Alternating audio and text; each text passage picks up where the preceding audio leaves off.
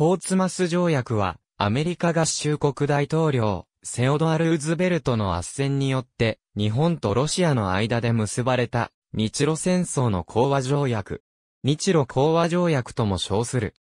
1905年9月4日、アメリカニューハンプシャー州ポーツマス近郊のポーツマス、海軍造船所において、日本全権、小村寿太郎と、ロシア全権セルゲイ・ワイウィッテの間で調印された。また、条約内容を交渉した会議のことを、ポーツマス会議、日露講和会議、ポーツマス講和会議などと呼ぶ。日本の講和団、小村寿太郎と高平小五郎、図員2名を呼び、米国人外交顧問ヘンリー・ウィラード・デニーソン、日露戦争において、終始優勢を保っていた日本は、日本海海戦戦勝後の1905年6月、これ以上の戦争継続が国力の面で限界であったことから、当時英仏列強に肩を並べるまでに成長し、国際的権威を高めようとしていたアメリカ合衆国に対し、中立の遊戯的圧戦を申し入れた。米国に圧戦を依頼したのは、道の区国一の赤藩出身の日本の中米公使、高平小五郎であり、以後、和平交渉の動きが加速化した。講和会議は1905年8月に開かれた。当初ロシアは強硬姿勢を貫き、たかだか小さな戦闘において敗れただけであり、ロシアは負けてはいない。まだまだ継戦も辞さないと主張していたため、交渉は暗礁に乗り上げていたが日本としてはこれ以上の戦争の継続は不可能であると判断しており、またこの調停を成功させたい米国はロシアに働きかけることで事態の収拾を図った。結局、ロシアは満州を呼び、朝鮮からは撤兵し、日本に樺太の南部を割譲するものの、戦争賠償金には一切応じないというロシア側の最低条件で、交渉は締結した。反面、日本は、困難な外交的取引を通じて、かろうじて勝者としての対面を勝ち取った。この条約によって日本は、満州南部の鉄道及び、領地の租借権、大韓帝国に対する、排他的指導権などを獲得したものの、軍事費として投じてきた、国家予算4年分にあたる20億円を埋め合わせるための戦争賠償金を獲得することができなかった。そのため、条約締結直後には、戦時中の増税による待望生活を強いられてきた国民によって、日比谷焼き討ち事件などの暴動が起こった。1905年3月、日本軍はロシア軍を破って、法典を占領したものの、継戦能力はすでに限界を超え、特に長期間の専門的教育を必要とする上に、常に部隊の戦闘に欠かせない艦クラスの士官の尊号が甚大で不定しつつあり、なおかつ武器、弾薬の調達の目途も立たなくなっていた。一方のロシアでは、同年1月の地の日曜日事件などに見られる国内情勢の混乱とロシア第一革命の広がり、ロシア軍の相次ぐ敗北とそれに伴う弱体化、さらに日本の強大化に対する列強の恐れなどもあって、日露講和を求める国際世論が強まっていた。中米公使、高平小五郎1905年5月27日から28日にかけての日本海海戦での完全勝利は、日本にとって講和への絶好の機会となった。5月31日、小村寿太郎外務大臣は、高平小五郎中米公使に宛てて、訓伝を発し、中立国アメリカのセオドア・ルーズベルト大統領に、直接かつ全然一個の発意により、日露両国間の講和を斡旋するよう求め、命を受けた高平は、翌日、中立の遊戯的斡旋を大統領に申し入れた。ルーズベルト大統領は、日露海戦の当初から、アメリカは日本を支持すると、ロシアに警告し、日本は、アメリカのために戦っていると公言しており、また全米ユダヤ人協会会長で、銀行家のヤコブ・シフト、鉄道王のエドワード・ヘンリー・ハリマンが、先頭に立って、日本の国債を買い支えるなど、アメリカは、満州、蒙古、シベリア、沿海州、朝鮮への権益介入のために日本を支援していた。米大統領の仲介を得た高平は、小村外相に対し、ポーツマスは合衆国政府の直轄地で近郊に、ポーツマス海軍造船所があり、宿舎となるホテルもあって、日露両国の全権委員は互いに離れて帰居できることを伝えている。パリ、芝生または、ワシントン DC、ハーグを抑えての開催地決定であった。ポーツマスは、ニューヨークの北方約 400km 地点に立地し、軍港であると同時に、別荘の立ち並ぶ閑静な避暑地でもあり、警備が極めて容易なことから、公式会場に選定されたのである。テディとして親しまれた、アメリカ第26代大統領セオドア・ルーズベルト、また、米国内の開催には、セオドア・ルーズベルトの日本にとって世の努力が最も利益になるというのなら、いかなる時にでもその労を取るという発言に象徴される親日的な性格に加え、講和の朝廷工作を利用し、米国をして国際社会の主役たらしめ、従来ロシアの強い影響下にあった東アジアにおいて、日米も含んだ勢力均衡の実現を図るという思惑があった。中国の門戸解放を願うアメリカとしては、日本とロシアのいずれかが圧倒的な勝利を収めて、満州を独占することは避けなければならなかったのであり、このアメリカの立場と国内の革命運動抑圧のため戦争終結を望むロシア、戦力の限界点を超えて勝利を確実にしたい日本のそれぞれの希望が一致したのである。ドイツ・フランス両国からもロシアの内向がフランス革命の時のように隣国に容易ならざる影響を及ぼす恐れがあるとして講和が打診されていた。ルーズベルトの仲介はこれを踏まえたものであったが、その背景には、米国がその長期戦略において、従来、モンロー主義と称されてきた伝統的な効率主義からの脱却を図ろうとする主張の変化があった。ルーズベルト大統領は、中ロアメリカ大使のジョージ・マイヤーに、ロシア皇帝への説得を命じた後、1905年6月9日、日露両国に対し、講和交渉の開催を正式に提案した。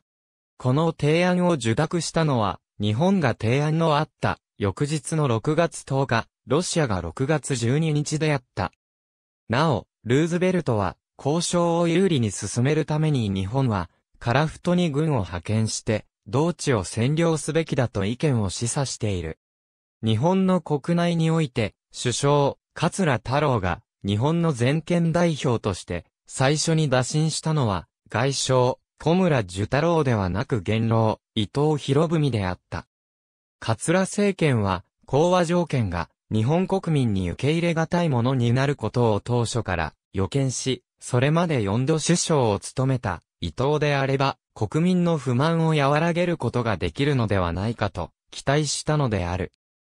伊藤は初めは引き受けても良いという姿勢を示したのに、対し、彼の側近は、戦勝の栄誉は桂が担い、講和によって生じる国民の反感を伊藤が一手に引き受けるのは馬鹿げているとして、猛反対し、最終的には伊藤も、全権大使への就任を辞退した。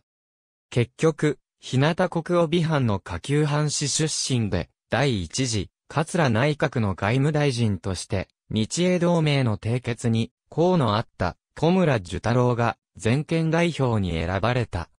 小村は身長150センチメートルに満たぬ小男で、当時50歳になる直前であった。伊藤博文もまた交渉の容易でないことをよく知っており、小村に対しては、君の貴重の時には、他人はどうあろうとも、我が輩だけは必ず出迎えに行くと語り、励ましている。ロシア全権、セルゲイ・オイッテ対するロシア全権代表セルゲイ・オイッテは、当時56歳で、身長180センチメートルを超す大男であった。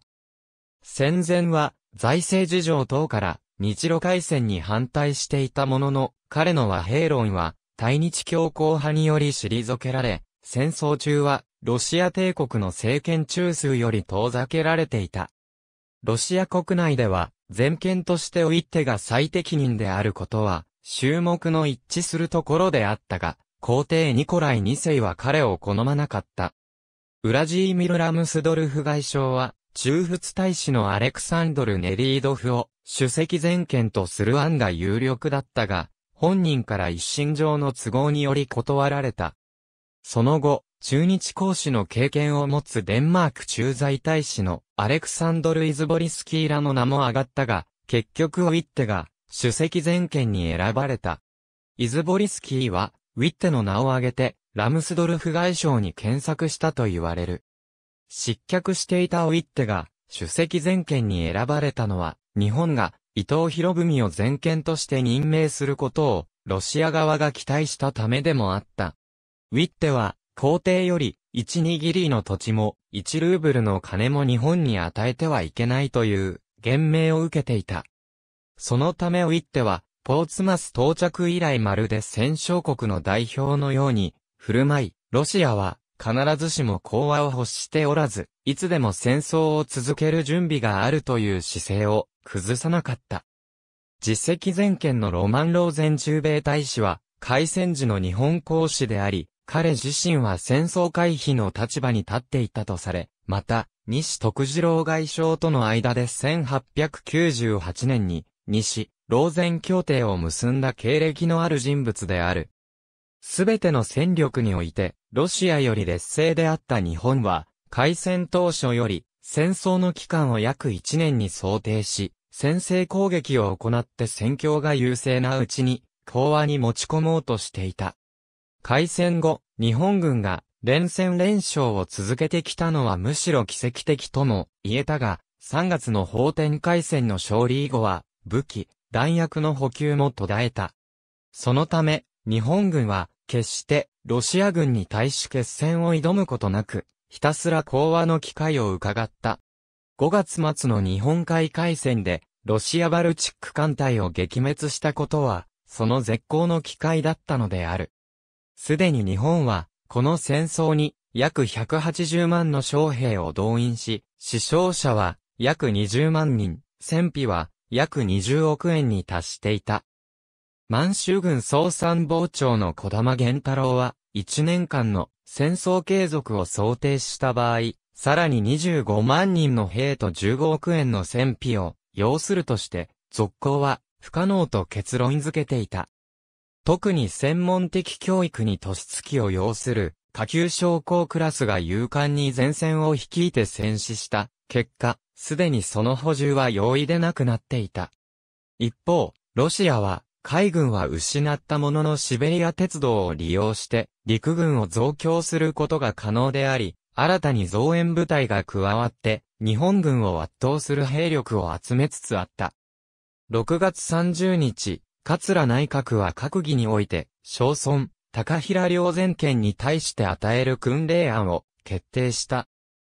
その内容は、韓国を日本の自由処分に委ねること、日露両軍の満州鉄平、両東半島租借権とハルビン、旅循環の鉄道の譲渡の3点が、こう、絶対的必要条件、軍費の賠償、中立港に逃げ込んだ、ロシア艦艇の引き渡し、カラフト及び、付属諸島の活上、沿海周沿岸の漁業権獲得の4点が、オツ、比較的必要条件であり、他に、兵、不可条件があった。それは、ロシア海軍力の制限、ウラジオストク港の武装解除であった。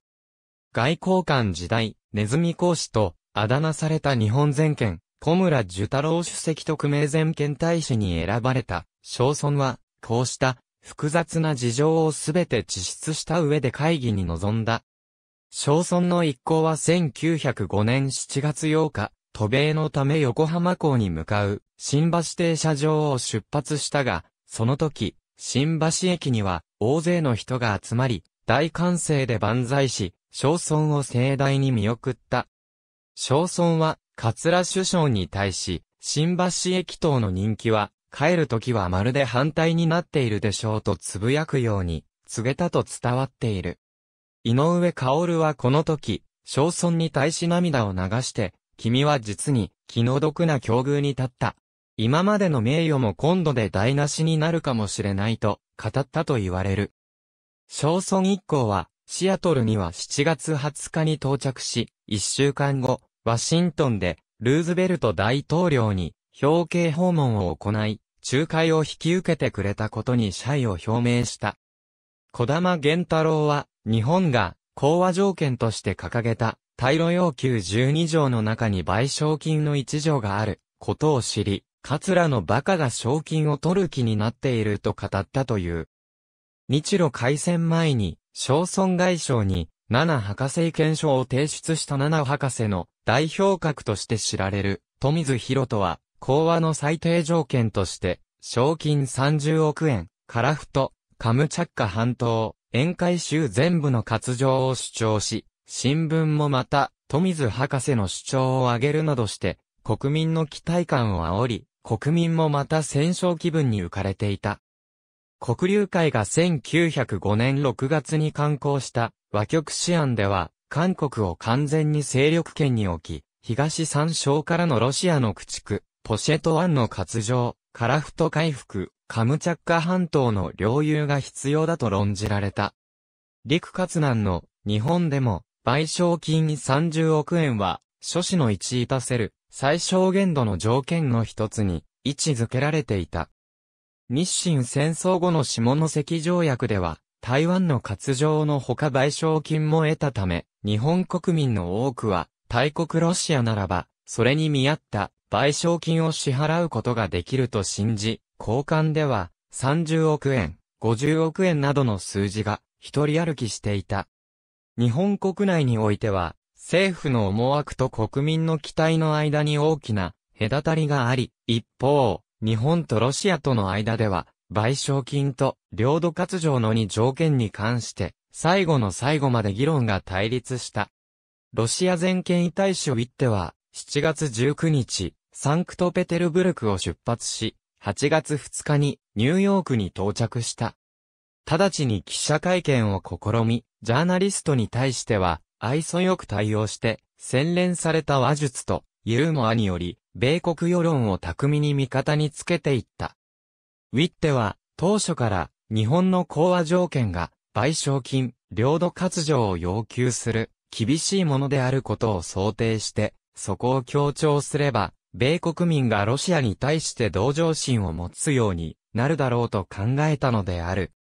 実際に、日本は多額の賠償金を得るためには、戦争を続けることも辞さないらしいという日本批判の報道もなされ、一部では日本は金銭のために戦争をしているのかという高ましからざる風評も現れた。それに対して小村は外国の新聞記者にコメントを求められた際、我々はポーツマスへ新聞の種を作るために来たのではない。談判をするために来たのであるとそっけなく答え、中には激怒した記者もいたという。小村はまた、マスメディアに対し秘密主義を取ったため、現地の新聞には、ロシア側が提供した情報のみが掲載されることとなった。明らかに小村は、マスメディアの重要性を認識していなかった。ポーツマス会議。向こう側左からコロストーエツ、ナボコフ、ウィッテ、ローゼン、ブランソン、手前左から足立、落合、小村、高平、佐藤。会議で使われた。写真中のテーブルは愛知県の博物館、明治村にて展示されている。講和会議の公式会場は、メイン州北リーに所在する、ポーツマス海軍交渉86号棟であった。海軍交渉は、ピスカタカ川の中州にあり、水路の対岸が、ニューハンプシャー州ポーツマス市である。日本とロシアの代表団は、ポーツマス市に隣接するニューカッスルのホテルに宿泊し、そこから船で交渉に赴いて、交渉を行った。交渉参加者は、以下の通りである。講和会議は、1905年8月1日より17回にわたって行われた。8月10日からは、本会議が始まった。また、非公式にはホテルで交渉することもあった。8月10日の第1回本会議冒頭において小村は、まず、日本側の条件を提示し、築上それを審議する旨を提案して、ウィッテの了解を得た。小村がウィッテに示した講和条件は次の12か条である。ロシアは韓国における日本の政治上、軍事上及び経済上の日本の利益を認め、日本の韓国に対する指導、保護及び監督に対し、干渉しないこと。ロシア軍の満州よりの全面撤退、満州における、ロシアの権益の内申告の主権を侵害する者、または、機械均等主義に反する者はこれをすべて放棄すること。満州のうち日本の占領した地域は改革及び、前世の保障を条件として、一切を新国に還付すること。ただし、両党半島租借条約に包含される地域は除く。日露両国は、新国が満州の商工業発達のため、列国に共通する一般的な措置の執行にあたり、これを阻害しないことを互いに約束すること。ロシアは、カラフト及び付属島、一切の公共映像物、財産を日本に譲与すること。旅順、大連及びその周囲の租借権、外租借権に関連して、ロシアが、新国より獲得した一切の権益、財産を日本に転校すること。ハルビン、旅循環鉄道とその支線及びこれに付属する一切の権益、財産、鉄道に所属する炭鉱をロシアより日本に移転校、付すること。満州横岸鉄道は、その付設に伴う特許条件に従い、また単に商工業上の目的にのみ使用することを条件として、ロシアが保有運転すること。ロシアは、日本が戦争遂行に要した実費を払い戻すこと。払い戻しの金額、時期、方法は別途協議すること。戦闘中損害を受けた結果、中立港に逃げ隠れしたり抑留させられた、ロシア軍艦をすべて後方の戦利品として、日本に引き渡すこと。ロシアは、極東方面において、海軍力を増強しないこと。ロシアは、日本海、オホーツク海及び、ベーリング海における、ロシア領土の沿岸、港湾、入江、河川において、漁業権を日本国民に許与すること。ロシア側の自責全権、ロマン・ローゼンそれに対してウィッテは、8月12日午前の第2回本会議において、2.3、4.6、8については同意、または基本的に同意、7については、主義においては承諾するが、日本軍に占領されていない部分は、放棄できない、11については、屈辱的約款には応じられないが、太平洋上に巨大な海軍力を置くつもりはないと、宣言できる12に対しては同意するが、入江や河川にまで漁業権は与えられないと返答する。一方、5.9、10については不同意の意を示した。この日は第一条の韓国問題についてさらに踏み込んだ交渉がなされた。ウィッテは日露両国の盟約によって一独立国を滅ぼしては他の列強からのそしりを受けるとして、これに反対した。しかし、強気の焦村はこれに対し、今後、日本の行為によって列国から何を言われようと、それは、日本の問題であると述べ、国際的批判は意に介せずとの姿勢を示した。ウィッテも譲らず、交渉は初手から難航した。これを見て取った、ロマン・ローゼンは、この議論を、議事録に留め、ロシアが日本に抵抗した記録を残し、韓国の同意を得たならば、日本の保護権確立を進めても良いのではないかという妥協案をウィッテに示した。小村もまた、韓国は日本の承諾がなければ他国と条約を結ぶことができない状態であり、すでに韓国の主権は完全なものではないと述べた。ウィッテは、小村の主張を聞いて、ローゼンの妥協案を受け入れた。こうして、1についても同意が得られた。8月14日の第3回本会議では、第2条、第3条について話し合われ、難航したものの最終的に妥結した。15日の第4回本会議では、第4条の満州解放問題が日本案通りに確定され、第5条のカラフト活条問題は両者対立のまま先送りされた。16日の第5回本会議では、第7条、第8条が討議され、第7条は原則的な、第8条は完全な合意成立に至った。8月17日の第6回本会議、18日の第7回本会議では、賞金問題を討議したが、成果が上がらず、小村全権の依頼によって、かねてより渡米し、日本の広報外交を担っていた、金子健太郎が、ルーズベルト大統領と会見して、その援助を求めた。ルーズベルトは8月21日、ニコライ2世宛に前書を求める神殿を送った。8月23日の第8回本会議では、ウィッテは小村に対し、もし、ロシアが、サハリン全島を日本に譲る気があるならば、これを条件として、日本は、金銭上の要求を撤回する気があるかという質問を投げかけた。ロシアとしては、これをもし、日本が拒否したならば、日本は、金銭のために戦争を行おうとする、反人道的な国家であるという印象を世界が抱くであろうと期待しての問いであった。それに対し、小村はカラフトはすでに占領しており、日本国民は、領土と賞金の両方を望んでいると応答した。ルーズベルトは日本に巨大な賞金の要求をやめようと声をかけた。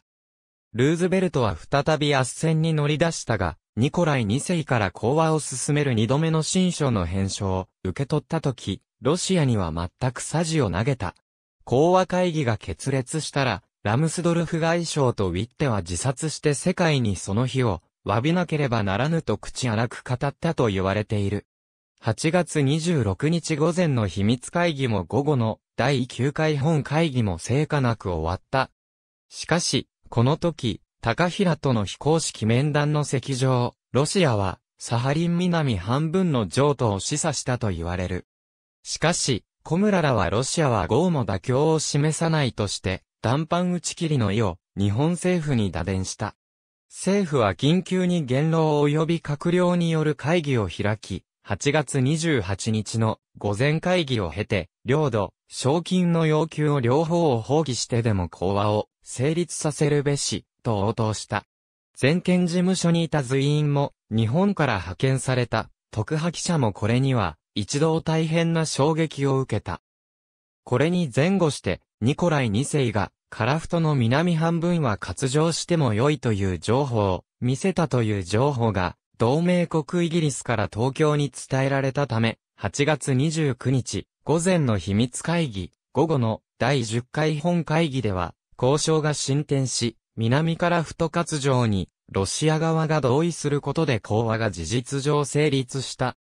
これに先立ち、ウィッテはすでに南から太の活上で合意することを決心していた。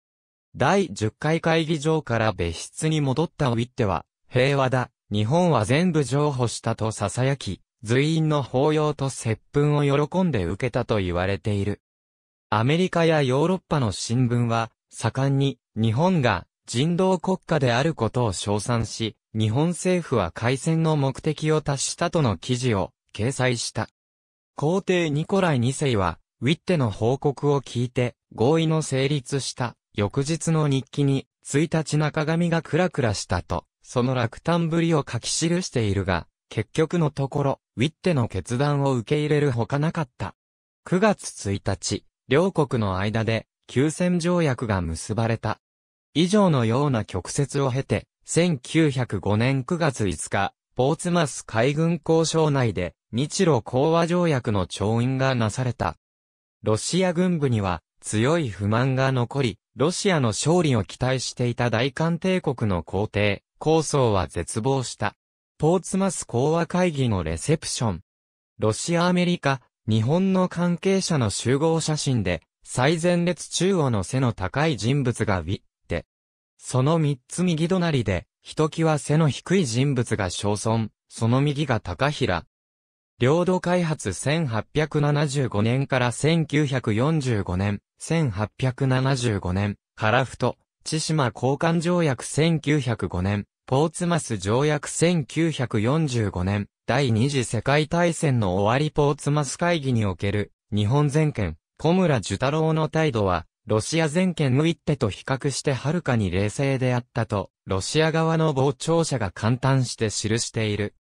すでに日本の軍事力と財政力は限界に達しており、にもかかわらず、日本の国民大衆はそのことを十分認識していないという状況の中、ロシアの満州、朝鮮からの撤兵という日本がそもそも日露戦争を始めた目標を実現し、新たな権益を獲得して、強国の仲間入りを果たした。ウィッテは、ロシア国内に、初戦の敗北は持久戦に持ち込むことによって取り戻すことができるとする戦争継続派が存在する中の交渉であった。講和会議が決裂した場合には、ウィッテが失脚することはほぼ間違いない状況であった。国内の混乱も極限状態であり、革命前夜と言ってよかった。ウィッテは、小村以上の窮状に身を置きながら、日本軍が侵攻したカラフト全島のうち、北緯50度以南を与えただけで北部から撤退する約束のみならず、賠償金支払いを行わない旨の合意を日本から取り付けることができた。講和内容の骨子は以下の通りである。日本の朝鮮半島における優越権を認める。日露両国の軍隊は鉄道警備隊を除いて満州から撤退する。ロシアはカラフトの北緯50度以南の領土を永久に日本へ譲渡する。ロシアは東西鉄道のうち、旅順長春間の南満州支線と、付属地の炭鉱の咀嚼権を日本へ譲渡する。ロシアは関東州の咀嚼権を日本へ譲渡する。ロシアは沿海州沿岸の漁業権を日本人に与える。日本は1905年10月10日に講和条約を批准し、ロシアは10月14日に批准している。1905年9月5日、東京日比谷公園で開かれた、講和条約反対の決起集会、金が欲しくて戦争したわけではないとの政府意向と、共に賠償金を放棄して、講和を結んだことは、日本以外の各国には、好意的に迎えられ、平和を愛するがゆえになされた英断と喝采を送った外国メディアも少なくなかった。しかし、日本国民とそのマスコミの多くは、連戦連勝の軍事的成果に関わらず、どうして賠償金を放棄し講和しなければならないのかと、憤った。有力視であった満長法も、また小村全権を長期をもって迎えようとする社説を掲載した。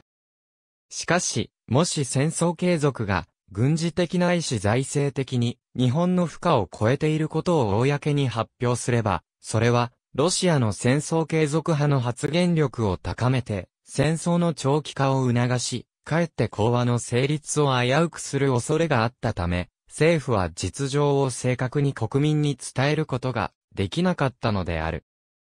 日本政府としては、このような大きなジレンマを抱えていたが、果たして、ポーツマス講和条約締結の9月5日、東京の日比谷公園で、小村外交を弾劾する国民大会が開かれ、これを解散させようとする警官隊と衝突し、さらに数万の大衆が首相官邸などに押しかけて、政府高官の邸宅、政府系と目された国民新聞社を襲撃、交番や電車を焼き討ちするなどの暴動が発生した。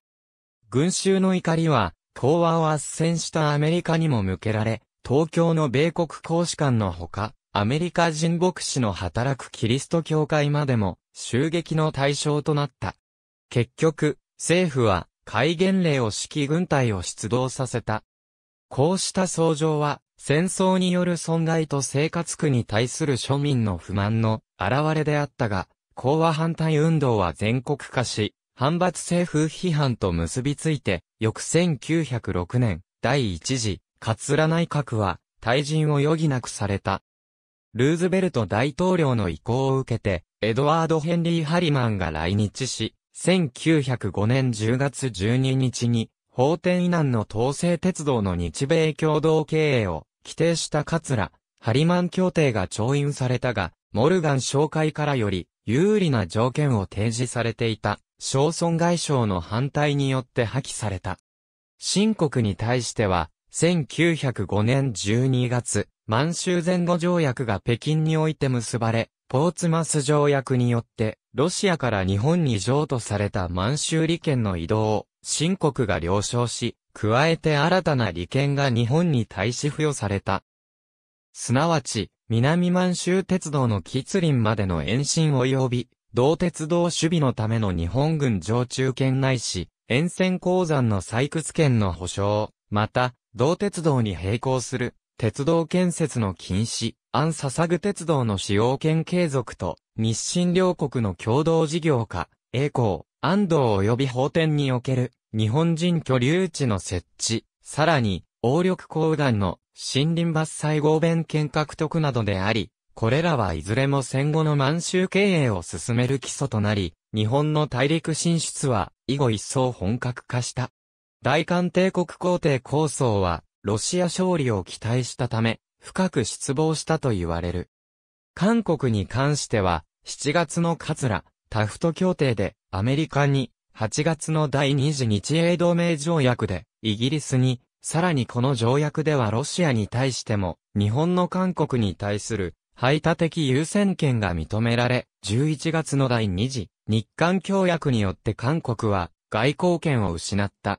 12月、首都ハンスンに東韓府が置かれ、韓国は日本の保護国となった。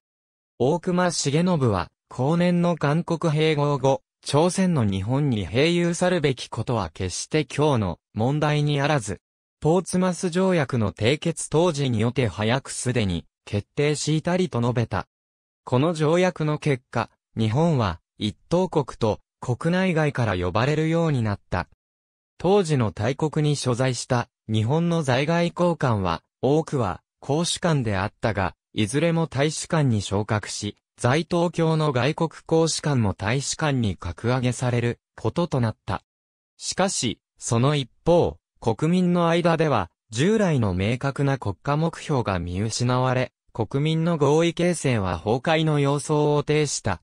セオドア・ルーズベルト米大統領は、この条約を仲介した功績が評価されて、1906年にノーベル平和賞を受賞した。また、この条約の後アメリカは、極東地域への発言権と関与を次第に強めていった。ルーズベルトの意欲的な仲介工作によって、ポーツマス講和会議は、国際社会におけるアメリカの世紀への第一歩となったという評価もある。だが、上記のような暴動、講和反対運動が日本国内で起こったことは、日本政府が持っていた戦争意図への不信感を植え付ける結果になってしまった。ロシアでは、皇帝の先制支配に対する不満が社会を覆い、10月に入ると、インフレーションに対する国民の不満は一挙に爆発して、ゼネストの様相を呈した。講和会議のロシア全権であったセルゲイ・ウィッテは、混乱収集のために10月少々起草、皇帝ニコライ2世はそれに署名した。しかし、なおもロシア第一革命に伴う混乱は1907年まで続いた。昭村はといえば、講和会議直後の9月9日、対米中に発病して、医師より絶対安静を命じられ、9月14日付の電報で、長地不書記の兆候であることを、桂太郎に伝えている。元来、小村には、肺結核の持病があったが、心身ともに疲弊して帰国したのがようやく10月16日のことであった。その日、横浜港に停泊していた日本艦隊と来泊中の英国艦隊は礼砲を撃ったが、横浜市民は、小村が上陸すると知るや、英国艦隊歓迎のために掲げた国旗を皆下ろしてしまったという。しかし、伊藤博文は小村を出迎え、熱く異論の言葉をかけた。また、ルスタク襲撃と一家殺害の知らせを前もって聞いていた小村は、船内まで入ってきた長男、小村金一の姿を見て、お前生きておったかと声をかけ、しばらく愛足の顔を見つめていたと伝わっている。新橋駅では、群衆より、速やかに切腹せよ、日本に帰るよりロシアに帰れとの罵声を浴びた。上皇上に降り立った小村を、総理大臣、桂太郎と、海軍大臣、山本権兵衛が、左右両側から抱きかかえるように寄り添い、小村を撃とうとする者がいた場合に備えて、命を懸けて、小村を守ったと言われている。ポーツマス海軍交渉ポーツマスは、ニューハンプシャー側に位置し、ポーツマス海軍交渉は、メイン州側で州を挟んでいる。アメリカでは、ポーツマス講和会議に関わる歴史遺産の保全活動が進められている。日本全県が宿舎としたウェントワース臨海ホテルは1981年に閉鎖されたままとなっており、老朽化が著しく、雨漏りや痛みもひどかった。そこで、ポーツマス日米協会が窓口となって、ウェントワースともの会が設立され、ホテルの再建計画が立てられ合い、復元作業がなされた。公式会場となったポーツマス海軍交渉では、1994年3月、会議当時の写真や資料を展示する常設のポーツマス条約記念館が開設された。2005年、老朽化のため海軍交渉を閉鎖するとの政府決定が発表されたが、ポーツマスではそれに対する反対運動が起こり、その結果、閉鎖は撤回されている。また、現地では、日米ロ3国の専門家による、ポーツマス講和条約フォーラムが幾度か開催されており、2010年には、ニューハンプシャー州で9月5日を、州の記念日にする条例が成立した。モンテネグロ公国は、日露戦争に際して、ロシア側に立ち、日本に対して、宣戦布告したという説がある。これについては、2006年2月14日に、鈴木宗男議員が、1904年に、モンテネグロ王国が日本に対して、宣戦を布告したという事実はあるか。ポーツマス講和会議に、モンテネグロ王国の代表は招かれたか。日本とモンテネグロ王国の戦争状態は、どのような手続きをとって終了したかとの内容の質問主意書を提出。